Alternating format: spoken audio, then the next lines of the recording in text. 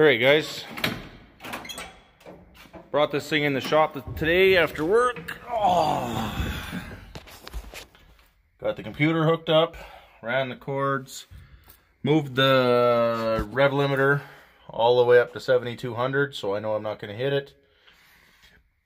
Uh, put her in first gear and held that little button down after the car was warm. And then I held this go pedal right to the floor. And this thing came up to 5,500 RPM. That is high, especially for my little car. I'm shifting at 58, the converter stalling at 55. That's not working very efficiently. Um, I'm gonna, have to switch converters here eventually.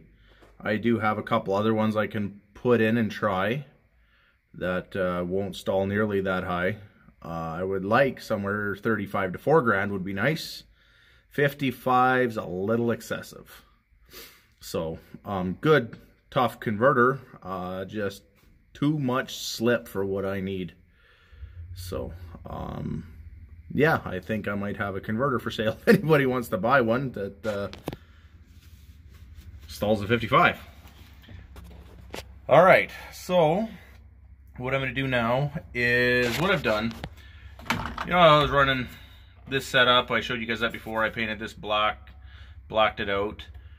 Um, and then I got that transmission temperature gauge. So I'm going to put it in that spot. I just ordered a voltmeter, so I'm just going to get rid of the factory stuff here altogether. We're just going to run AutoMeter gauges. Very easy to hook up, simple to deal with. And it'll fit in the gauge better. It's just going to look better. Um, if I was to run this gauge and then an AutoMeter one here, I either got to cut another hole in the in the uh, gauge face or buck this in half, and then that would just be stupid. So yeah, what I'm gonna do is I got another one ordered. Gonna put a transmission temperature gauge there, and I still got to go and get all the other stuff figured out for the gauges uh, on my gauge face block all that stuff out, get the pieces made, yada, yada, yada. The list goes on. All right. Um, one thing I do have to do is change out my uh, seat belts. See, this one's got the tag on it. You can see the dates punched out are August and 16. So I was allowed to run through August of 18, which was perfect because that's basically when our season ends. So I got over two full years of use with these because when I got them, the date was punched and we were still before that. I think I got I bought them in uh, April or May, and they gave me till August. So they gave me an extra six months or so, which was nice. But they're outdated every two years. You got to replace these things as it says right there, valid two years from punch date. So, time to put in some new ones. The passenger side doesn't really matter. Those are just, you have to pull a 14 second pass anyways when you're using them. So the that the date becomes mute, or moot, I guess. So we're gonna put in some new belts. Um, I'm not sure if you guys remember the last time I did this, when I put these in, was a couple years ago. You have to do a three lap through here. So the first one, as you can see, comes through here. And then you go back around and through again. Um, I will take this apart. And if I had a stand or something, I'd show you what I'm doing. But I will take it apart well, I'm gonna, first thing I'm gonna do is just take this piece out and then I'll show you what it looks like after that. All right, it's a bit of a pain, but I got it out.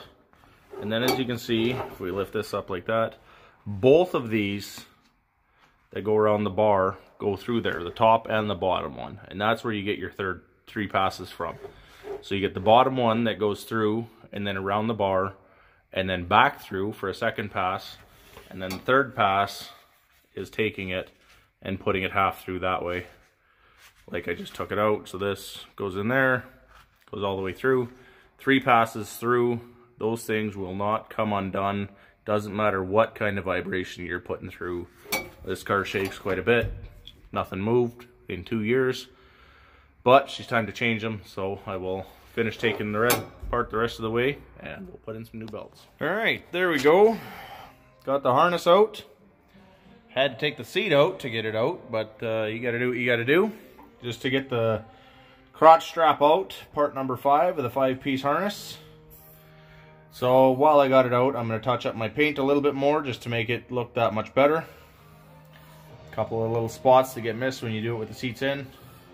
So, I don't know if you guys ever know, but the crotch strap is something that used to confuse me until I actually started getting used to these harnesses and stuff. It's not there to protect your junk, if anybody's wondering that. The point of it is, until you run without it, you won't know. It keeps the harness down in the proper location where it's supposed to be on your body. And if you got everything tight and where it's supposed to be, you're supposed to have these things cinched pretty tight so you can't really move in that seat. So just so you know, it keeps um, the, the bands coming down across your shoulders and chest and the ones coming from your hips all in the proper location. It's not there to hurt you or something if you get into a crash. It's not going to crush your nuts by any mean. It's called a crotch strap because that's where it's located, not what it's protecting or anything like that. So that's the point of it. Um, in the Camaro, I've got a four-point harness. Um, I don't have the crotch strap in that one. And if you move forward in the in the harness, you actually feel everything ride up onto your chest and instead of on your hips and your stomach where it's supposed to be. So there you go, a little bit of lesson in uh, harnesses. All right, we uh, also found a little bit of this here.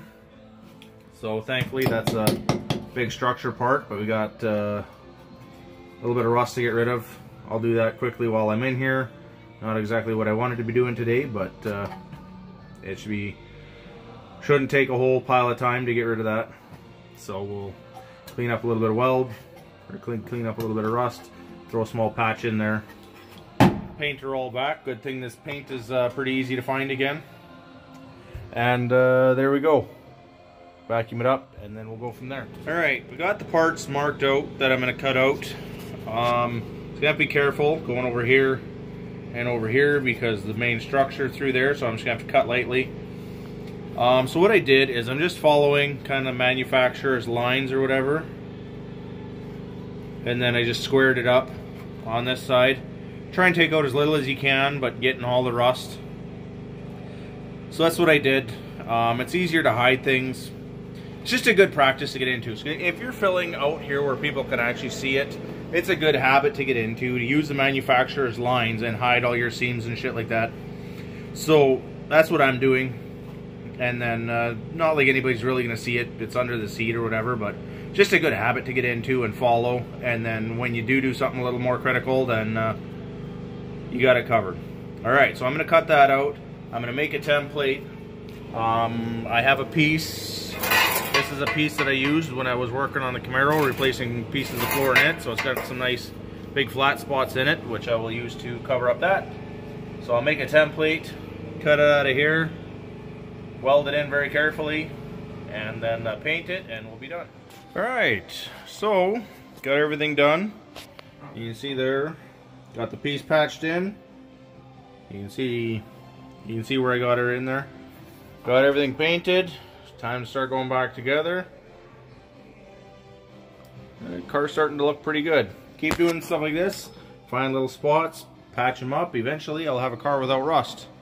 Now, if only I had a car with decent paint. Yeah, fuck. Whatever.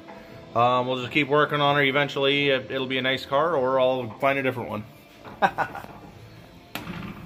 Alright, so, yes. We're going to put everything back together. And that will be the end of this little tiny video. While I'm at it, um, I think I told you guys about the problems I had with my master cylinder last year. Um, if not, quick little recap. Alright, the rod popped out And what it did was fell down and hit the snap ring that's in there. There you can see it. Busted it out. And the whole back of the master, the piston on the master came out last year while I was racing. I actually had to roll into my pits as slow as I could and I used my ramp as a stopping device. Uh, really, really sucked. We're not going through that again. Um, what the problem was, was my stopper was not adequate. This time it is. I have a bolt that goes against metal. The stopper is more than adequate this time. And the problem is, when that all happened, that master cylinder took some damage. My braking has not been the same since. So what I'm going to do, you can see little trickles. That's brake fluid since I've painted the floor. So it's slowly, slowly seeping out. Braking's not great. Uh, I have to pump it up a few times. So what I'm going to do is change the master cylinder again. Um, I walked you guys through that once already. I'm not going to do it again. Uh, it's a couple bolts, couple lines, change it out. Piece of cake on this car, especially since everything's out of the way. So there you go. Um, a little bit of history on what's been going on with the car. Yeah, you can see the puddle there.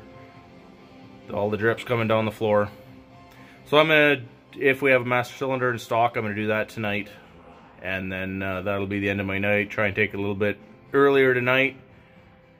Uh, working on the transmission last night. I didn't get out of here till 11 o'clock. I'm a little tired, so.